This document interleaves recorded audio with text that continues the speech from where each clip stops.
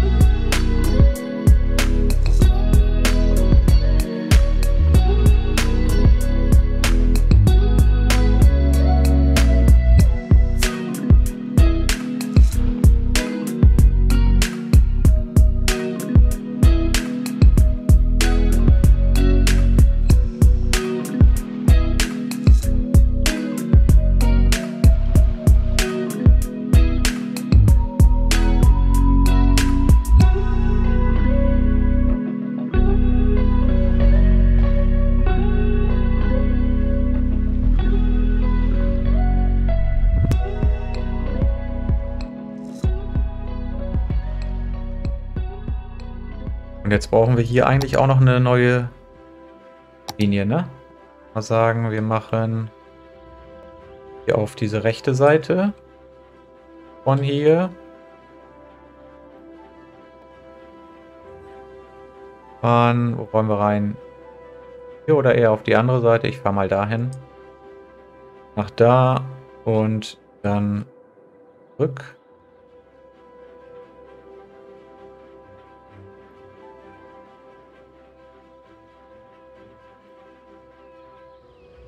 Sehr schön. Können wir da eigentlich noch was einstellen? Linie 2, ich glaube, die muss ich nicht benennen. Fein für mich. Und da machen wir mal den Bullet Train. Hier glaube ich auch, ja. Okay, das soll mal passen. Und ich schaue erstmal, was hier an Traffic gleich los sein wird.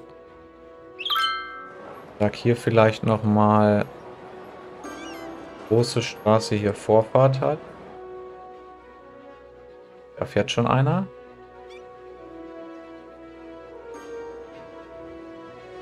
Und hier die Straßen auch mal Vorfahrt. Der fährt noch schön auf der anderen Linie, der auch. Die fahren ja, die fahren hoffentlich auch immer durch die Mitte durch. Will ich mal hoffen. Da ist mein Bullet Train mit nur Leuten. Ah, jetzt musste der natürlich warten.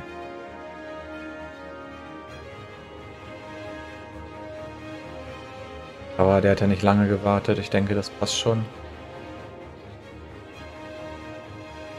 Habe ich da eigentlich im Einsatz zwei? Vielleicht kann ich da sogar einen runtergehen. Okay, dann würde ich sagen, wir schauen noch mal ein bisschen nach der Nachfrage. Wir haben ja noch viel Industrie- und Gewerbegebiet Nachfrage. Vier Units hier rüber gehe und dann... Ich glaube, das macht mehr Sinn. Ich glaube, ich will hier auch noch ein bisschen Industrie haben. Und vielleicht könnten wir auch noch mal sagen, dass wir hier eins von diesen einzigartigen Gebäuden bauen. Ich habe hier noch ein neues ähm, DLC übrigens, ein Content Creator Pack dabei, da komme ich aber gleich noch drauf zu sprechen. Ich hatte hier noch die Idee, es gab hier so eine E-Auto-Fabrik. Vielleicht könnte man die hier nochmal hinklatschen. Aber nicht unbedingt gegenüber vom Bahnhof. Was haben wir noch? Robotik Institute. Das ist so länglich.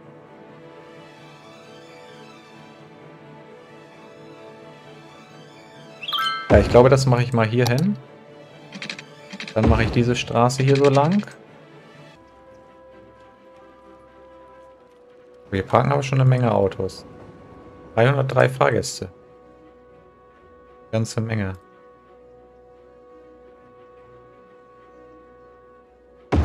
Neuer Versuch mit diesem Gebäude hier. IT-Gebäude gehen ab. Und den Geheimdienst packe ich mal direkt vor das Einkaufs... äh, vor den Bahnhof. Brauchen wir hier noch eine Busstation. Kann eigentlich nicht schaden. Ich habe eine ganz gute Idee für eine Buslinie. Vom Bahnhof bitte. Bis zu der Uni, äh, bis zu dem Hub da.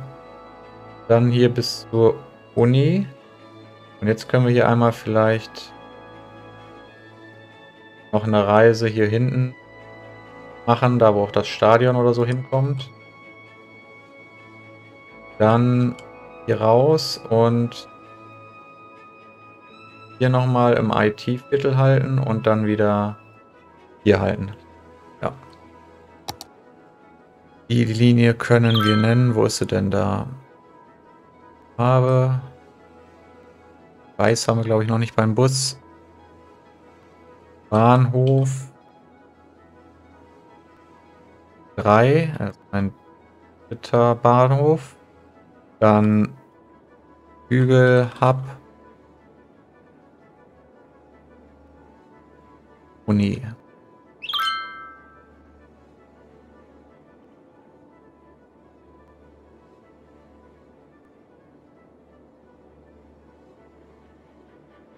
Jetzt meckern die hier schon wieder rum. Nicht genügend gebildete Arbeiter. Scheiße, wir brauchen mehr Studenten. Was hin?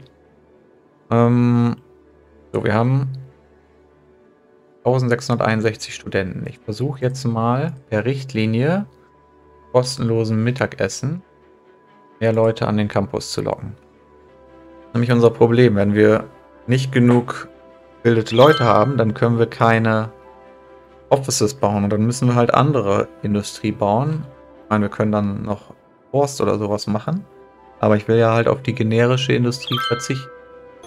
Ah, hier.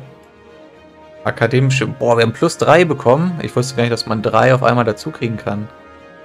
Studenten. Warum steht jetzt hier plus 75?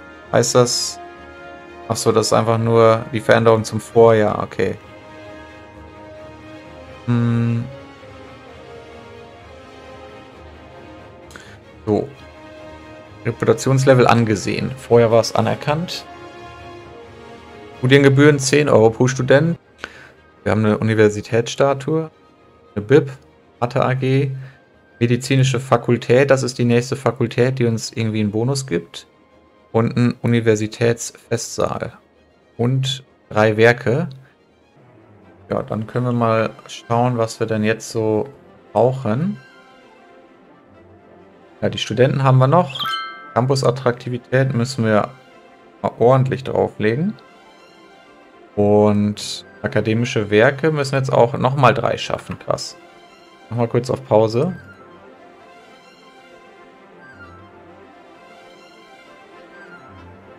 Hier.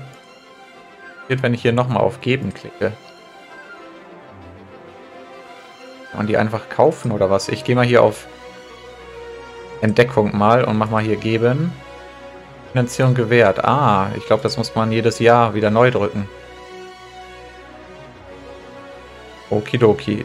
Dann mal einmal hier rein und erstmal schauen, was diese andere Fakultät nochmal bringt. Effizienz des Gesundheitswesens, die Anzahl der Krankenwägen und die Patientenkapazität. Okay, da muss ich mal eben schauen. Wir haben ja eine Sache nicht. Ich gucke mir einmal so ein kleines, so eine kleine Arztpraxis an. Die hat 100 Patienten, 8 Wagen. Und wir haben dann noch so ein großes Krankenhaus. Das hat 530. Also 108 und 530. Kostet 2, 4 und 400. Dann baue ich mal schnell die Fakultät. Ich schmeiß die gleich nochmal woanders hin, aber ich, ich mir nachher, vergesse ich nachher wieder die Werte. Die, äh, Platz. Erstmal dahin. Mal kurz auf Play gedrückt. Und Gebäude, hallo? Ja, da.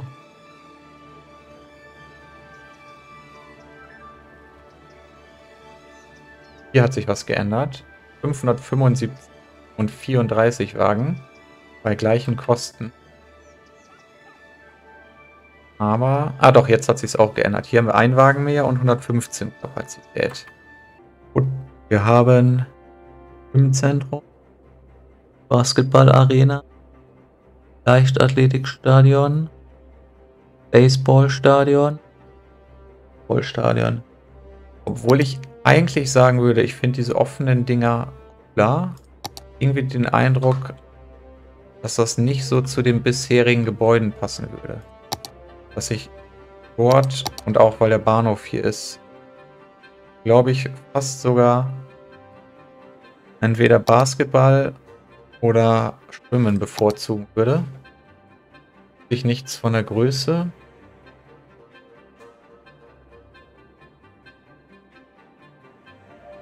Ich glaube, ich nehme mal sogar eine Schwimmhalle. Einmal gucken, wie viel wir jetzt haben. Ach, so wenig gibt das. Ja, was brauchen wir denn noch? Oder was können wir noch bauen?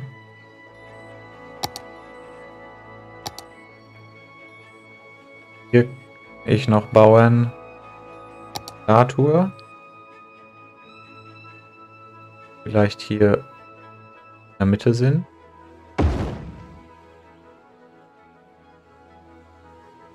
Dann muss ich da erstmal umdekorieren. Können wir die auch einfach zwei davon bauen. Eine hier, die ein bisschen hochleveln und eine hier. Dann machen wir da einfach zwei Statuen. Dann haben wir einen Festsaal. Oder vielleicht sogar hier hinten bei der beim Stahl, bei dem Schwimmding. Dann ist das vielleicht nicht so laut. Ja, ich baue den mal hier hin.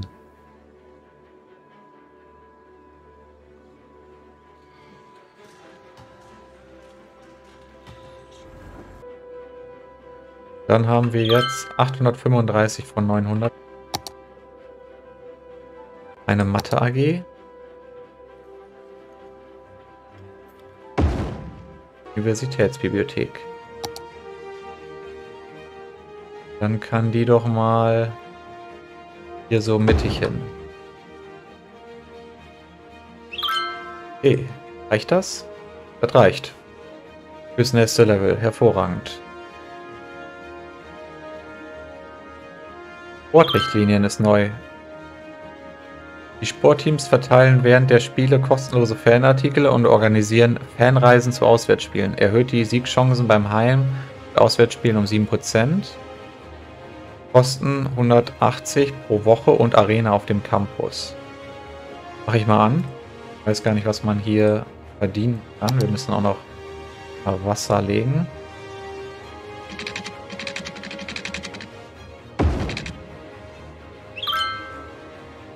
Ähm Ach, hier greift auch wieder dieses kommt schon alle her.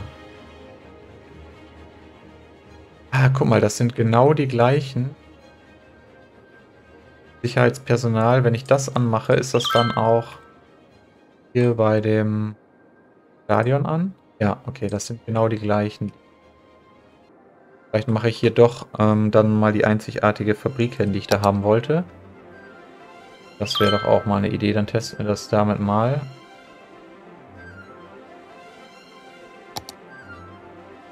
Schiffswerft. Die hier eine Spitze haben oder eher hier so ein bisschen seitlich? Ich weiß gar nicht, ob die dann nachher da rausfahren.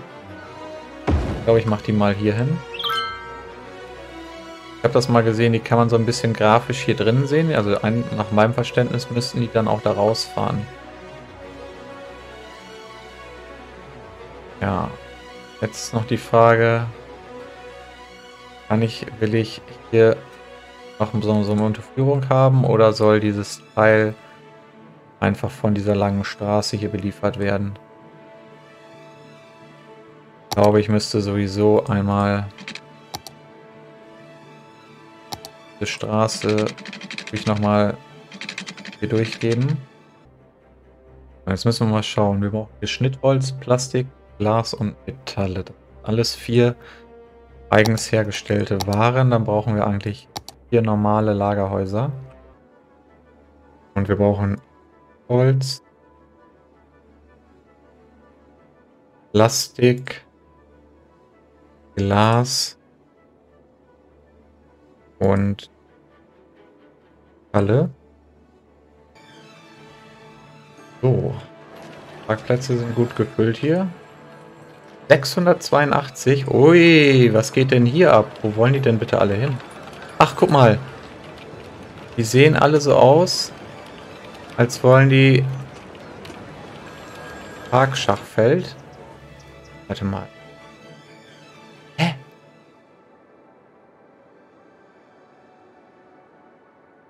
Folgen. Geht er denn jetzt bitte hin?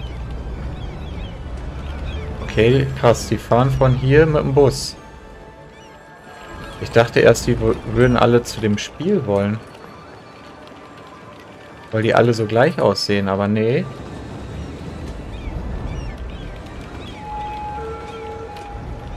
Scheinbar fahren jetzt mit dem Bus zu dem Uni-Hub. Und von dem Uni-Hub dann gegebenenfalls ja nochmal irgendwie per U-Bahn hierhin oder so. Abgefahren. Ah, wir haben das erste Spiel gewonnen. Hierfür haben wir auch 33.000 bekommen, so wie bei dem anderen Spiel. Das ist ja gar nicht so wenig.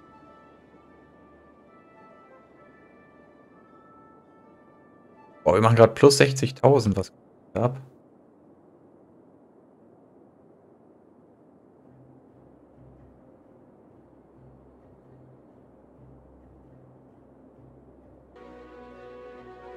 Achso, ähm, ja, fast vergessen. Ich habe ja auch noch das Japan-DLC, äh, das Japan Content Creator Pack mit reingenommen. Grund, warum ich das reingenommen habe, ist, ich wollte eh ja, nach und nach die Content Creator Packs reinnehmen und ich habe mich für dieses entschieden, weil hier relativ viele Gebäude mit so Parkplätzen noch dabei sind, die fand ich vielleicht ganz hilfreich. Das sind ja, hauptsächlich so Essensläden, also asiatische Einkaufsläden, sowas die Richtung. Dann gibt es so ein paar Bezirke, die sehen so ein bisschen dunkel aus. Und da dachte ich mir, vielleicht kann man die so als Puffer machen zwischen diesem, ja doch, bäulichen Gebiet hier und dem Wohngebiet. So insbesondere zum Beispiel, ich, kann ich das mal zeigen, das hier. Das hat halt so farblich genau den gleichen Charme wie dieses Industriegebiet hier. Ist dann aber ja, ein Touristengebäude und schafft dann halt die Wohngebiete hier. Und das dachte ich, die können wir halt gut hier zwischenlegen. Und ich wollte ja sowieso vielleicht diesen linken Teil hier nochmal umbauen. Gibt es noch so, ja, ein paar ähnliche nach dem Prinzip. Gibt aber auch hier so drei so Wolkenkratzer, die sind echt relativ groß. Oder werden immer größer. Guckt. Also das ist schon ein Monster, das große Ding hier.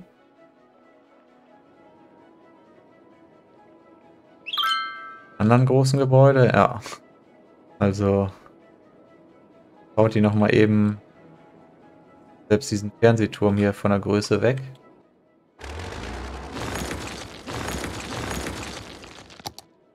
Und dann gibt es noch sowas Bahnhofskaufhaus, Bahnhofseinkaufszentrum. Und ansonsten gibt es noch so einen japanischen Tempel, der sieht ganz cool aus. Da muss ich mir noch mal was Besonderes überlegen. Und neben diesen vier Dingern gibt es dann noch ein neues Krankenhaus. Das ist ein, hat glaube ich die gleichen Stats wie so ein normales Krankenhaus. 500 Kapazität, 2400 Kosten. Halt in so einem japanischen Stil. Sage ich mal. Ich weiß zwar nicht, wie die Krankenhäuser in Japan aussehen, aber... Ah, wir sind hier Plus vier akademische Werke. Studenten minus, ach du Kacke. Ja, 15 Euro pro Student, da ist nochmal gut was draufgekommen. Universitätsauditorium, Universitätsbuchladen und Universitätslabor. Sponsorenverträge. Örtliche Unternehmen bieten an, das Team zu sponsoren. Verringert die Unterhaltungskosten des Universitätssports auf dem Campus um 8%. Plakate ändern sich vom Logo des Sportteams zu Sponsorenwährung. Naja, auf jeden Fall ja, auch ganz nett. Viele Parkplätze dabei und so. Dann ähm, gibt es noch als letztes, genau das fand ich noch ganz cool, bei Müll, nee, hier ist das, eine Entsorgungsanlage. Erzeugt auch Strom, hat 27 Müllwagen. Und ähm, ja, macht Strom, hat Müllwagen und ähm, hat einen ganz großen Radius, aber halt auch industriell aus. Dachte ich, vielleicht können wir die auch nochmal hier hinpacken. Dann geht der rote Radius bisschen in das Gebiet rein und dort könnte ich dann diese neuen Japan-Dinger hinbauen. Das war so meine Idee. Habe ich auch komischerweise nie Krankenwagen unterwegs und auch nie Feuerwehr. Also ich habe noch nie, seitdem ich spiele, überhaupt ein Feuerwehrauto gesehen und ich weiß nicht warum, weil ich habe einen Mod oder so an, der das tut. Ähm, keine Ahnung, ich habe da extra schon mal geguckt. Ich weiß nicht, ob das Spiel deswegen auch einfacher ist, als es sein sollte, aber ja, ich hatte erst gedacht, so bei dem Feuer, gut, es kann sein, weil ich diese eine Rauchmelderrichtlinie habe, da steht ja, verringert die Feuergefahr erheblich. Dachte ich vielleicht, okay, vielleicht kein, kein Dingens gesehen, aber Polizeiwagen, die sind ja immer alle unterwegs und Ahnung, ich habe noch nie eine Feuerwehr gesehen. Und wir haben hier null Patienten im Krankenhaus. Was ist das? Also ich baue die... Da habe ich auch nie so drauf geachtet. Aber warte mal, wir haben... Gesundheit? Ja, wir haben halt 79% Gesundheit. Kranke Bürger 19. Also es gibt kranke Bürger. Ich weiß nur nicht, wo sie drin sind. Bürgergarten noch drei Stück. Das Gebäude da haben. Arztpraxis, null. Hier sind null Patienten drin. Wo sind die alle? Null. Ein Yoga-Garten.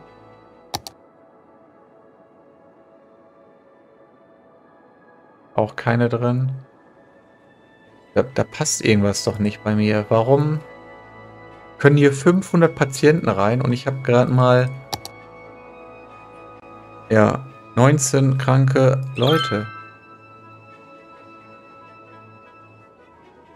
Ein Tote funktioniert, aber irgendwie Gesundheit und Feuerwehr funktioniert gar nicht. Also eigentlich müsste ich Feuer haben und die dürften sich dann sogar ausbreiten, wenn keine Feuerwehr kommt.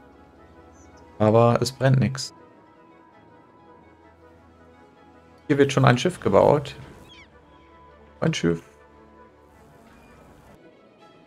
Äh, ja, ich habe ganz vergessen, den Campus noch weiter auszubauen. Ähm, aber ja, wir müssen ja nicht den, müssen ja nicht alles in dieser Folge schaffen. Ich habe schon sehr, sehr viel aufgezeichnet und das nochmal ein bisschen zusammenschneiden. Ich würde jetzt tatsächlich an dieser Stelle die Folge beenden. War mal wieder so ein bisschen Mix aus allem. Bahnhof, bisschen ja, von allem. Büros, Gewerbe, Wohngebiet, Uni, Fracht, äh, Frachtschiff, Dingsbums hier, Schiffswerft, also auch Industries DLC. Ja, ein ganz guter Mix, denke ich. Ähm, ja, wenn es euch gefallen hat, lasst gerne ein Like da. Kommentiert gerne mal. Ansonsten wünsche ich euch noch einen schönen Tag und hoffe, ihr seid beim nächsten Video wieder mit dabei. Und ich bin raus. Haut rein. Ciao, ciao.